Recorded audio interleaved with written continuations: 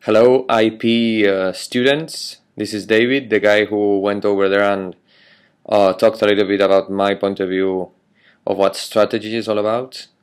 And uh, regarding the project you are working on, that I think it has uh, something to do with the Valencian community, my advice would be to try and uh, not talk about paella, try not to talk about uh, sunlight, sun, uh, yeah, how the amount of sun we have, and try not to talk about uh, the beach.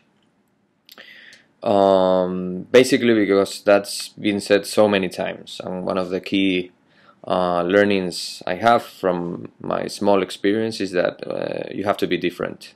So say something different to people uh, and also uh, don't forget that it's not also important to be different but uh, to be relevant. Say something different but that it's important for people. And that would be my advice. Good luck everybody